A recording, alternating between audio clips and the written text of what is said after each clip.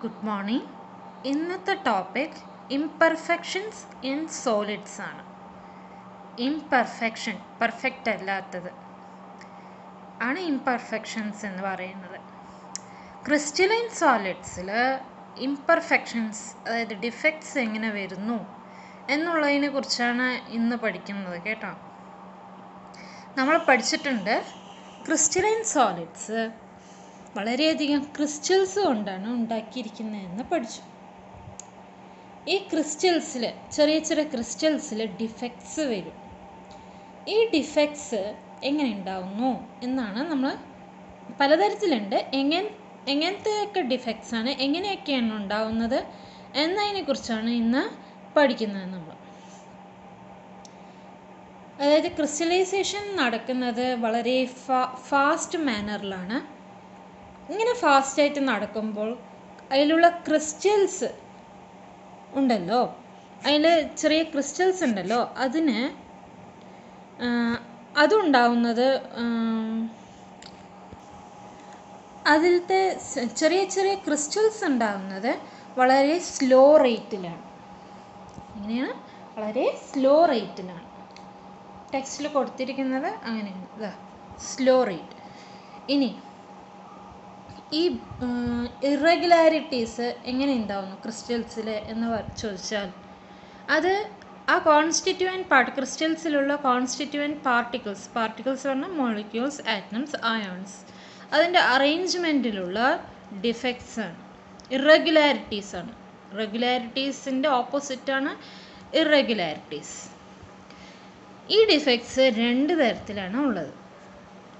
ഒന്ന് point defects മറ്റൊന്ന് line defects point ഡിഫക്ട്സിനെ കുറിച്ചാണ് നമ്മൾ ഈ ടെക്സ്റ്റിൽ പഠിക്കുന്നത്. അപ്പോൾ എന്താണ് പോയിന്റ് ഡിഫക്ട്സ് പോയിന്റ് ഡിഫക്ട്സ് എന്ന് പറഞ്ഞു വെച്ചാൽ ഇവിടെ നമ്മൾ ലാറ്റിസ് പോയിന്റിനെ കുറിച്ചൊക്കെ പഠിച്ചു. നമ്മളൊരു ലാറ്റിസ് ഒക്കെ നിർമ്മിക്കുമ്പോൾ ഒരു ലാറ്റിസ് പോയിന്റിനെ നമ്മൾ എന്തായിട്ടാണ് സങ്കല്പിക്കുന്നത് ഒരു പാർട്ടിക്കിളായിട്ടാണ് സങ്കല്പിക്കുന്നത് അപ്പോൾ ഈ പാർട്ടിക്കിൾ മോളിക്യൂൾ ആറ്റം അയോൺസിലുള്ള അറേഞ്ച്മെന്റിലുള്ള ഇറഗുലാരിറ്റീസ് വരുന്ന ഡിഫക്ട്സിനെയാണ് പോയിന്റ് ഡിഫക്ട്സ് എന്ന് പറയുന്നത്. ഇനി ലൈൻ ഡിഫക്ട്സോ ലൈൻ ഡിഫക്ട്സ് എന്ന് പറയുന്നത് റോസ് ലൈനിലുള്ള റോസിലുള്ള അറേഞ്ച്മെന്റിലുള്ള ഡിഫക്ട്സ് ആണ്. എന്റെ റോസിൽ അറേഞ്ച്മെന്റിലുള്ള ഡിഫക്ട്സ് പോയിന്റ് ഡിഫക്ട്സ് എന്ന് പറഞ്ഞു വെച്ചാൽ ഒരു പോയിന്റ് ഒരു പാർട്ടിക്കിളിലുള്ള ഒരു പാർട്ടിക്കിൾ എന്നല്ല ധാരാളം പാർട്ടിക്കിൾസ് ഉണ്ട്. അപ്പോൾ ഓരോ പാർട്ടിക്കിൾസിലുള്ള ഡിഫക്ട്സ് റോസ് ലൈൻസിനൊക്കെ ഡിഫക്ട്സ് എന്ന് വെച്ചാൽ അത് ലൈൻ ഡിഫക്ട്സ് എന്ന് പറയുന്നു. ഇന്ന് നമ്മൾ പഠിക്കുന്നത് പോയിന്റ് ഡിഫക്ട്സിനെ കുറിച്ചാണ്. എൻ സി ആർ ടിയിൽ വളരെയധികം ഡീറ്റെയിൽ ആയിട്ട് പറയുന്നതും പോയിന്റ് ഡിഫക്ട്സിനെ കുറിച്ചാണ്. അപ്പോൾ നമുക്ക് പോയിന്റ് ഡിഫക്ട്സിനോട്ട് കടക്കാം. പോയിന്റ് ഡിഫക്ട്സ് രണ്ട് തരത്തിലാണുള്ളത്. ഒന്ന് സ്റ്റോഷിയോമെട്രിക് ഡിഫക്ട്സും മറ്റൊന്ന് non stoichiometric defects non stoichiometric defects ഇനി സ്റ്റോഷിയോമെട്രിക് ഡിഫക്ട്സ് എന്താണെന്ന് നോക്കാം. പിന്നെ ഒന്നുകൂടിയുണ്ട് ഇംപ്യൂരിറ്റി ഡിഫക്ട്സ് കേട്ടോ. അങ്ങനെ മൂന്നെണ്ണം ഉണ്ട്.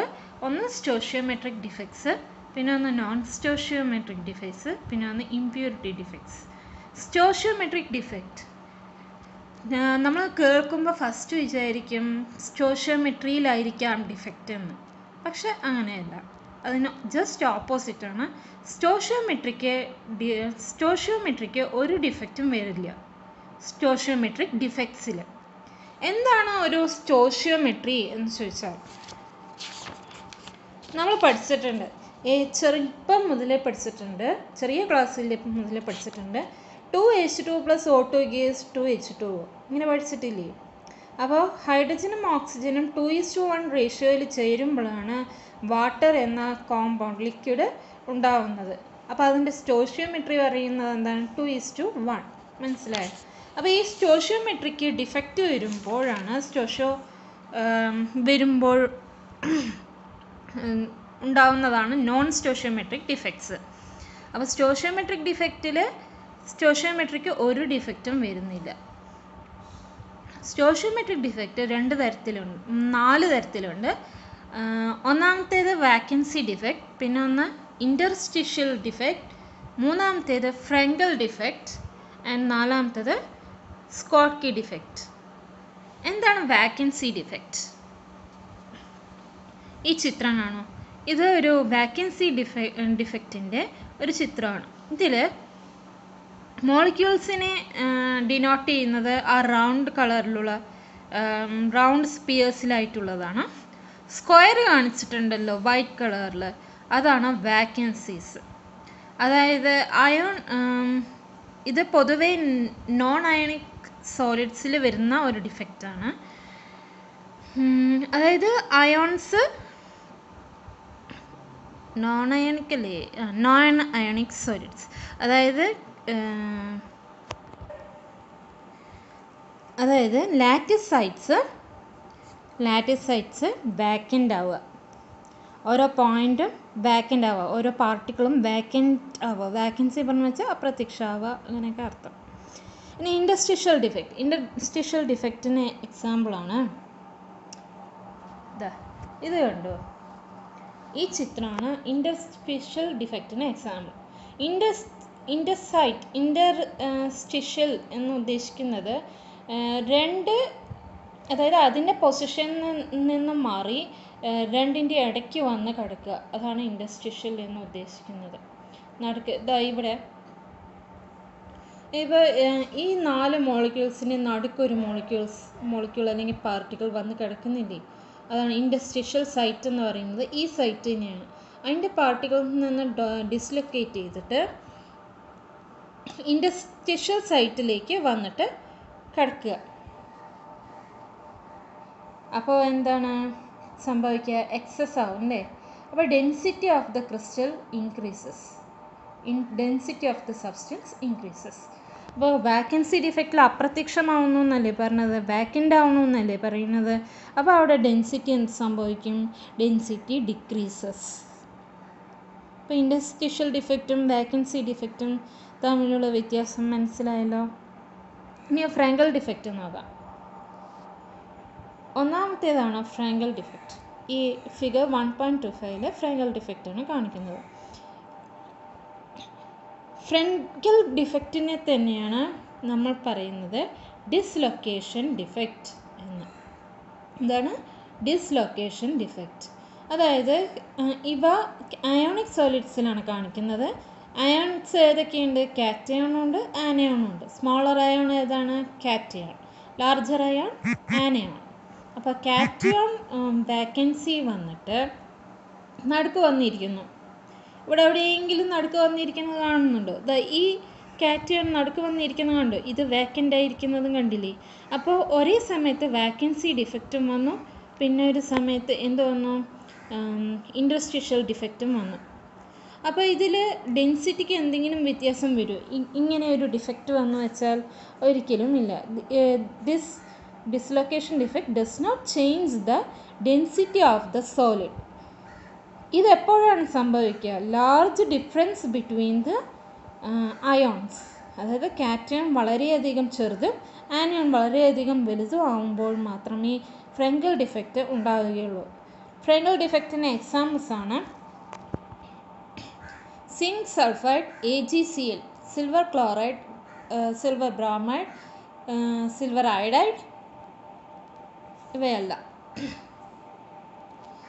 Due to small size of zinc two plus and A G plus ions Frenkel defect ഉണ്ടാകാൻ കാരണം സിങ്ക് ടു പ്ലസ് അയോൺസിന്റെയും എ ജി പ്ലസ് അയോൺസിന്റെയും സ്മോൾ സൈസാണ് കാരണം.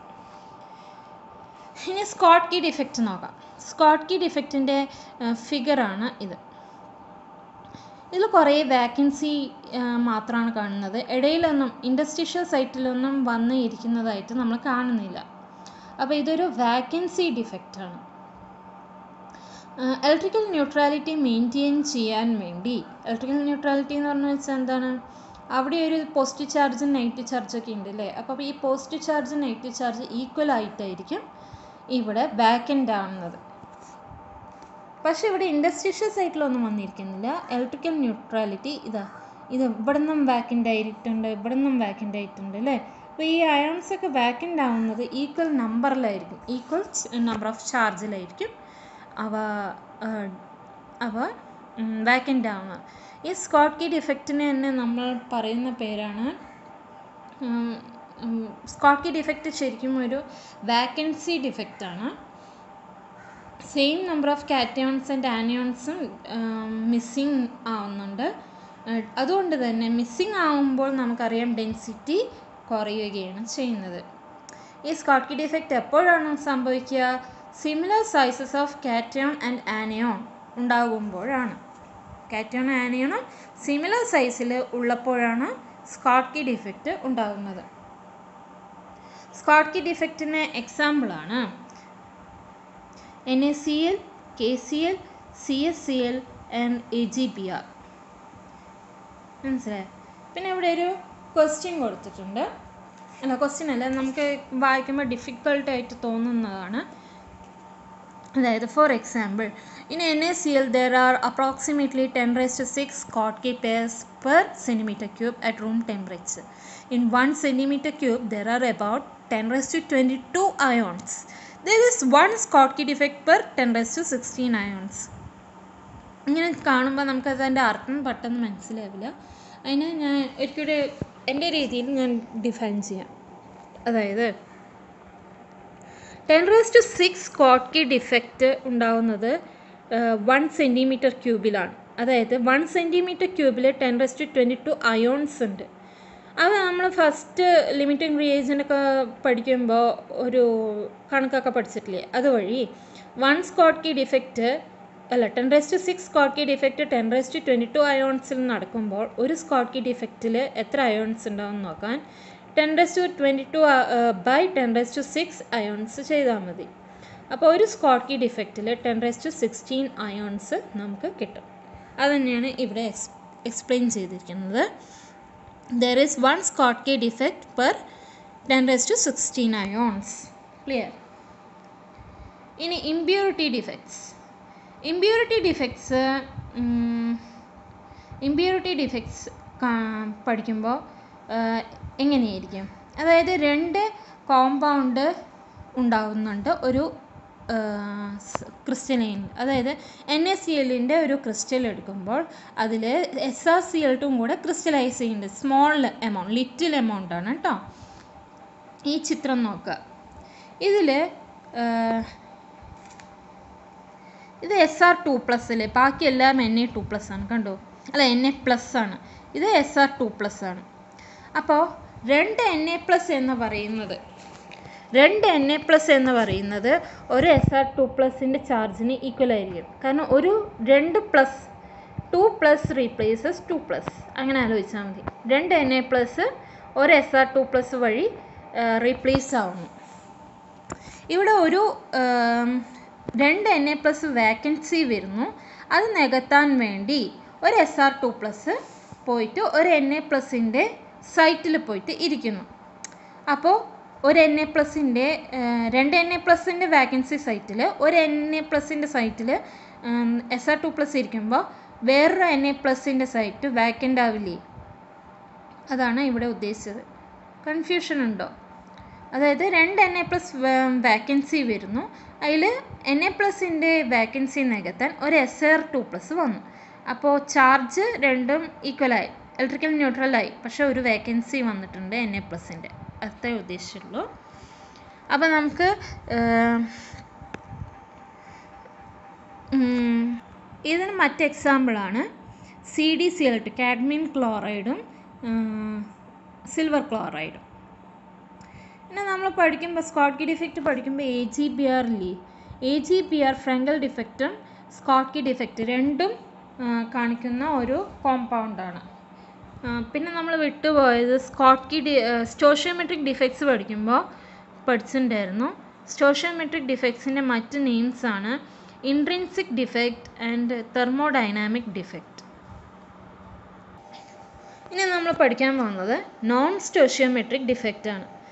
അപ്പോൾ നമ്മൾ അപ്പോളെ പറഞ്ഞുവല്ലോ സ്റ്റോഷ്യോമെട്രിക് ഡിഫക്റ്റ് എന്താണ് നോൺ സ്റ്റോഷ്യോമെട്രിക് ഡിഫക്റ്റ് എന്താണ്. ഇവിടെ നോൺ സ്റ്റോഷ്യോമെട്രിക് ഡിഫക്റ്റ് ആണ്. അതായത് നോൺ സ്റ്റോഷ്യോമെട്രി സ്റ്റോഷ്യോമെട്രിക്ക് ഡിഫക്റ്റ് ഉണ്ടാവുന്നു. പേരിന് ജസ്റ്റ് ഓപ്പോസിറ്റ്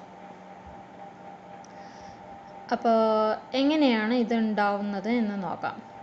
രണ്ട് തരത്തിലാണ് സ്റ്റോ നോൺ സ്റ്റോഷ്യോമെട്രിക് ഡിഫക്റ്റ് ഏതൊക്കെയാണ്?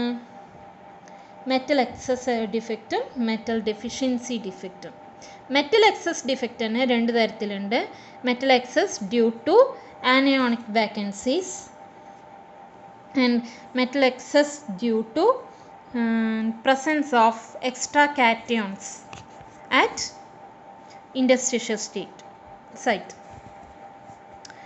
Metal excess ഡിഫക്റ്റിൽ എക്സാമ്പിളാണ് sodium chloride and K C L നമ്മളിവിടെ സോഡിയം ക്ലോറൈഡിന്റെ എൻ എ സി എല്ലിന്റെ കാര്യമാണ് എടുത്ത് ഉദാഹരണം എടുത്തിട്ടാണ് ഇതിനെ പറയുന്നത്. അതായത് സോഡിയം ക്ലോറൈഡ് സോഡിയം വേപ്പറിൽ ഹീറ്റ് ചെയ്യുമ്പോൾ സോഡിയം ക്ലോറൈഡ് സോഡിയം വേപ്പറിൽ ഹീറ്റ് ചെയ്യുമ്പോൾ സോഡിയം ആറ്റംസ് ക്രിസ്റ്റലിന്റെ സർഫസിൽ വന്നിട്ട് ഡെപ്പോസിറ്റ് ചെയ്യും. ക്ലോറൈഡ് അയോൺസോ ആ ക്രിസ്റ്റൽ സർഫസിലേക്ക് ഡിഫ്യൂസ് ചെയ്യും. എന്നിട്ട് സോഡിയവുമായിട്ട് കമ്പൈൻ ചെയ്തിട്ട് N A C L form ചെയ്യും. ഇത് എപ്പോഴാണ് സംഭവിക്കുക? സോഡിയം ഒരു ഇലക്ട്രോൺ ക്ലോറൈഡിന് വിട്ടുകൊടുത്തിട്ടാണ് അല്ലേ? എൻ എ നമ്മൾ അയോണിക് ബോണ്ടിങ് ഒക്കെ പഠിക്കുമ്പോൾ അത് പഠിച്ചിട്ടുണ്ട്. എൻ എ പ്ലസ് ഉണ്ടാവുന്നത് എൻ സോഡിയം ഒരു ഇലക്ട്രോൺ ക്ലോറിന് വിട്ടു കൊടുക്കുന്നു. അങ്ങനെയാണ് എൻ എ പ്ലസ് അയോൺ ഉണ്ടാവുന്നത്. അപ്പോൾ സി എല്ലിന് ഇലക്ട്രോൺ കിട്ടി. അങ്ങനെ സോഡിയം ക്ലോറൈഡ് എന്ന അയോണിക് ബോണ്ട് ഫോം ചെയ്യുന്നു. ഈ ഇലക്ട്രോൺ എന്ത് സംഭവിക്കും? ഈ ഇലക്ട്രോൺ ഡിഫ്യൂസ് ചെയ്തിട്ട് ആനയോണിക് സൈറ്റിനെ ഒക്കുപ്പൈ ചെയ്യും. കണ്ടു? ആനയോണിക് സൈറ്റിനെ ഒക്കുപ്പൈ ചെയ്യും. ഈ ആനയോൺ സൈറ്റ് ഒക്കുപ്പൈ ചെയ്ത ഈ സൈറ്റിനെ നമ്മൾ ഫാബെ സെന്റേഴ്സ് അല്ലെങ്കിൽ എഫ് സെന്റേഴ്സ് എന്നാണ് പറയുന്നത്. എഫ് സെന്റേഴ്സ് അല്ലെങ്കിൽ ഫാബെ സെന്റ് ഫാർബി ഫാർബെൻസർ എന്ന ജർമ്മൻ വേർഡിൽ നിന്നാണ് എഫ് സെന്റേഴ്സ് വന്നിരിക്കുന്നത്. ഈ എഫ് സെന്റേഴ്സാണ് യെല്ലോ കളറ് ക്രിസ്റ്റൽസിന് കൊടുക്കുന്നത്. സോഡിയം ക്ലോറൈഡിന്റെ ക്രിസ്റ്റൽസിന് കൊടുക്കുന്നത്.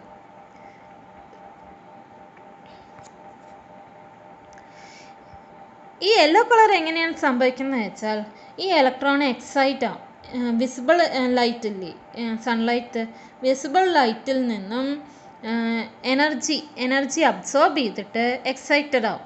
എക്സൈറ്റ് ആയത് ആയിട്ട് തിരിച്ച് ആ ക്രിസ്റ്റലിൽ വന്ന് പതിക്കുമ്പോൾ വിസിബിൾ ലൈറ്റ് വിസിബിൾ ലൈറ്റിൽ നിന്ന് അബ്സോർബ് ചെയ്ത എനർജി റിലീസ് ചെയ്തിട്ടാണ് വന്ന് പതിക്കുക. അപ്പോൾ ആ എനർജി ഇല്ലേ? ആ എനർജിയാണ് നമുക്ക് ഇവിടെ യെല്ലോ കളറ് ഇമ്പാർട്ട് ചെയ്യുന്നത് സിമിലർലി എൽ ഐ സി എല്ലിന് പിങ്ക് കളർ ഉണ്ടാവും.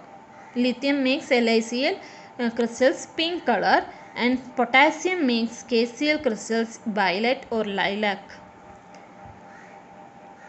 അപ്പോൾ അതാണ് മെറ്റൽ എക്സസ് ഡിഫക്റ്റ് ഒരിക്കലും പറയാം. സോഡിയം സോഡിയം വേപ്പറിൽ ഹീറ്റ് ചെയ്യണു സോഡിയം സോഡിയം ക്ലോറൈഡ് കേട്ടോ സോഡിയം അല്ല സോഡിയം ക്ലോറൈഡ് സോഡിയം വേപ്പറിൽ ഹീറ്റ് ചെയ്യുന്നു. അപ്പോൾ സോഡിയം ആറ്റംസ് സർഫസിൽ വന്ന് ഡെപ്പോസിറ്റ് ചെയ്യുന്നു. ക്ലോറൈഡ് അയോൺസ് സർഫസിൽ ഡിഫ്യൂസ് ചെയ്തിട്ട് സോഡിയം ക്ലോറൈഡ് ഉണ്ടായി സോഡിയം അയോൺസ് ഇലക്ട്രോൺ വിട്ടുകൊടുത്ത് സോഡിയം അയോൺസ് ആയി. ആ ഇലക്ട്രോൺസ് അയോണിക് സൈറ്റിൽ വന്നിരുന്നു. ആ സൈറ്റിനെ എഫ് സെന്റേഴ്സ് എന്ന് പറഞ്ഞു.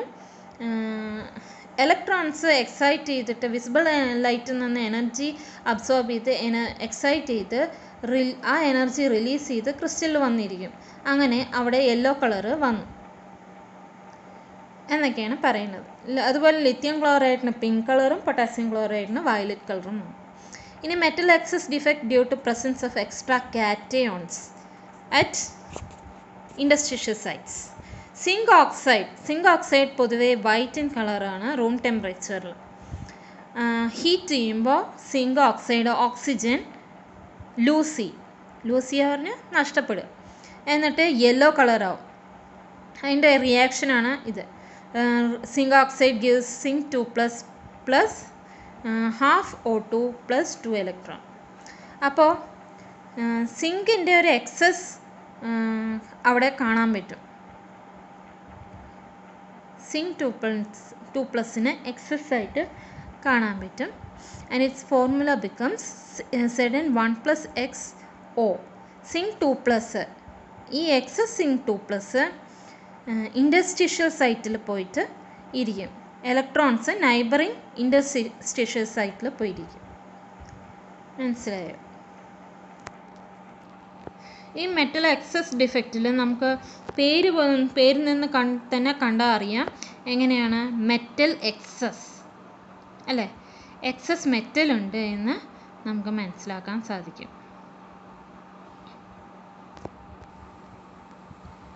ഇനി നമുക്ക് മെറ്റൽ ഡെഫിഷ്യൻസി ഡിഫക്റ്റ് നോക്കാം. ഇതിൽ മെറ്റൽസിന് ഒരു ഡെഫിഷ്യൻസി അവിടെ ഉണ്ടാകുന്നുണ്ട്. അതായത് നമുക്കറിയാം അയണും ഓക്സൈഡും ചേരും ഓക്സിജനും ചേരുമ്പോൾ പലതരത്തിലുള്ള കോമ്പൗണ്ട്സ് ഉണ്ടാകുന്നു എന്ന് നമുക്കറിയാം. ഒരു കോമ്പൗണ്ടാണ് എഫ് ഇ ഒ അല്ലേ? ഇതിന്റെ ശരിക്കും സ്റ്റോഷ്യോമെട്രിക് പ്രൊപ്പോർഷനിലല്ല ഇത് ഉണ്ടാവുന്നത്. നോൺ സ്റ്റോഷ്യോമെട്രിക് പ്രൊപ്പോർഷനാണ് ഇവിടെ ഉണ്ടാവുന്നത്.